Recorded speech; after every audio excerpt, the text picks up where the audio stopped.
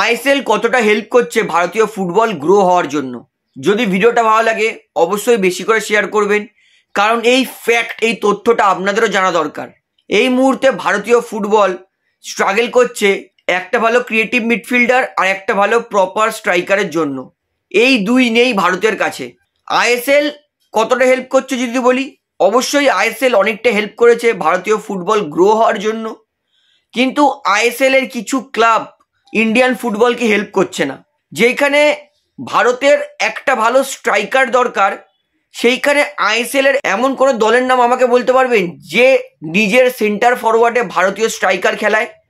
কোনো এমন একটা দলের নাম বলতে পারবেন না যাদের সেন্টার ফরওয়ার্ড বা স্ট্রাইকারে কোনো ভারতীয় প্লেয়ার আছে। সবাই নিজের স্ট্রাইকারে বিদেশি প্লেয়ারদেরকে খেলায়, আর এমন বিদেশিদেরকে খেলায় যারা নিজের দেশের জন্য জায়গা পায় না। কিন্তু তারা ভারতীয় ফুটবলে এসে, ভারতীয় লিগে এসে স্ট্রাইকার খেলছে। আমাকে একটা এমন আইএসএল ক্লাবের নাম বলুন, যার ভারতীয় স্ট্রাইকার আছে এবং যে প্রত্যেক ম্যাচে শুরু করে। এমন কোনো ভারতীয় প্লেয়ারের নাম বলতে পারবেন না, যে প্রত্যেক ম্যাচ স্টার্ট করছে সুনীল ছেত্রীকে ছাড়া। তো ভারতীয় ফুটবল গ্রো হবে কি করে? ভারতীয় ফুটবল গ্রো হওয়ার সম্ভাবনা কিন্তু আইএসএল ক্লাবরাই শেষ করে দিচ্ছে। আমাদের কোচ ইগোর স্টিম্যাক ভারতীয় ক্লাবের কাছে রিকোয়েস্ট করে করে হাঁপিয়ে যাচ্ছে যে, দয়া করে সবাই নিজের স্ট্রাইকারে একটা করে ইন্ডিয়ান প্লেয়ার খেলান। কিন্তু কোনো ক্লাব সেটা কর্ণপাত করছে না। আর অ্যাট দ্য এন্ড কি হচ্ছে? ভারতের কাছে একাধিক ডিফেন্সিভ মিডফিল্ডার উইঙ্গার ডিফেন্সের প্লেয়ার গোলকিপার আছে। কিন্তু ভারতের কাছে যেটা দরকার সেটা হচ্ছে একটা স্ট্রাইকার প্রপার সেটা নেই। আর একটা ক্রিয়েটিভ মিডফিল্ডার নেই। সাহাল আব্দুল সামাদ আর ব্র্যান্ডন ফার্নান্ডেস ছাড়া আমাদের কাছে ক্রিয়েটিভ মিডফিল্ডার আছে কোথায়? কোনো দল, এমনকি ক্রিয়েটিভ মিডফিল্ডিং মতো এই ক্রুশিয়াল জায়গাতেও ভারতীয় প্লেয়ারদেরকে খেলায় না। সাল আব্দুল সামাদ আর ব্র্যান্ডন ফার্নান্ডেস ছাড়া কোনো ভারতীয় প্লেয়াররা ক্রিয়েটিভ মিডফিল্ডারের জায়গা খেলে না। আমাকে এমন একটা দলের নাম বলুন যেখানে ক্রিয়েটিভ মিডফিল্ডে ভারতীয় প্লেয়ার খেলছে, কোনো দল পাবেন না, এই দুই প্লেয়ার ছাড়া। তো ভারতীয় ফুটবল গ্রো হবে কি করে? অবশ্যই আইএসএল একটা বড় মঞ্চ দিয়ে দিয়েছে। অবশ্যই আইএসএল অনেক হেল্প করছে ভারতীয় ফুটবলকে।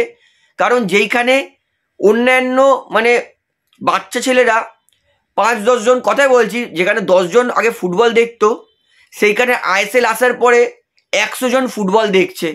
মানে আইএসএল আসার পরে ভারতীয় ফুটবল কিন্তু মানুষ দেখা চালু করেছে। তো আইএসএল তো অনেক হেল্প করছে, ভারত বড় প্ল্যাটফর্ম দিচ্ছে। কিন্তু আমাদের ক্লাবরা আমাদের ইন্ডিয়ান টিমকে হেল্প করছে না। কোনো ভারতীয় প্রপার মিডফিল্ডার খেলাচ্ছে না অ্যাটাকিং মিডফিল্ডার আর কোনো ভারতীয় স্ট্রাইকারকে সুযোগ দিচ্ছে না যে বলব সুনীল ছেত্রী চলে গেলে হ্যাঁ এর ওপর আমরা ভরসা করতে পারব। তো আমাদের ভারতীয় ফুটবল গ্রো হবে কি করে? তো যাই হোক, এই কথাটা হয়তো আপনার খারাপ লাগতে পারে মেবি আপনার প্রিয় ক্লাবকে আমি বলতে পারি। তো দেখুন কতটা খারাপ লাগলেও এটা কিন্তু সত্যি যে আইএসএল এর কোনো ক্লাব কোনো ভালো অ্যাটাকিং মিডফিল্ডার আর কোনো স্ট্রাইকার ভারতীয় সুযোগ দিচ্ছে না। আর এদিকে আমরা বলছি এটা ইন্ডিয়ান সুপার লিগ চলছে। ইন্ডিয়ান সুপার লিগে কোনো ইন্ডিয়ান স্ট্রাইকার নেই ইন্ডিয়ান ক্রিয়েটিভ মিডফিল্ডার নেই। সব ফরেন প্লেয়াররা জায়গা পেয়েছে আর এমন ফরেন প্লেয়ার জায়গা পেয়েছে যে দিচ্ছে যে নিজের দেশের জন্য প্লেইং ইলেভেনের সুযোগ পায় না। কিন্তু তাদেরকে আমরা স্ট্রাইকে খেলাই, তাদেরকে আমরা অ্যাটাকিং মিডফিল্ডে খেলাই। তো দেখুন, কতটা আপনার খারাপ লাগলেও লাগতে পারে। তো কিছু করার নেই, এটাই সত্যি, এটাই ফ্যাক্ট ভারতীয় ফুটবল উন্নতি তবেই হবে যবে প্রত্যেক কটা আইএসএল ক্লাব একটা করে ক্রিয়েটিভ মিডফিল্ডার খেলাবে আর একটা করে স্ট্রাইকার খেলাবে ভারতীয়। তাছাড়া কিন্তু ভারতের উন্নতি হওয়া খুবই ডিফিকাল্ট সেই ডিফেন্সিভলি ভারত ভালো খেলবে কিন্তু অ্যাটাকিংলি ভারত কমজোর পড়ে যাবে। তো এই নিয়ে আপনারা কতটা আমার সঙ্গে একমত এবং আপনারা আমার সঙ্গে কতটা সম্মতি রাখছেন সেটা আমাকে অবশ্যই কমেন্টে জানাবেন। এবং আপনাদের কমেন্টের জন্য ওয়েট করব। তো এই ভিডিওটি আমি এখানেই শেষ করছি। আশা করি সমস্তটা আপনার ভালো লাগল। তো ভিডিওটি ভালো লাগলে অবশ্যই লাইক করবেন এবং অবশ্যই বেশি বেশি করে শেয়ার করবেন।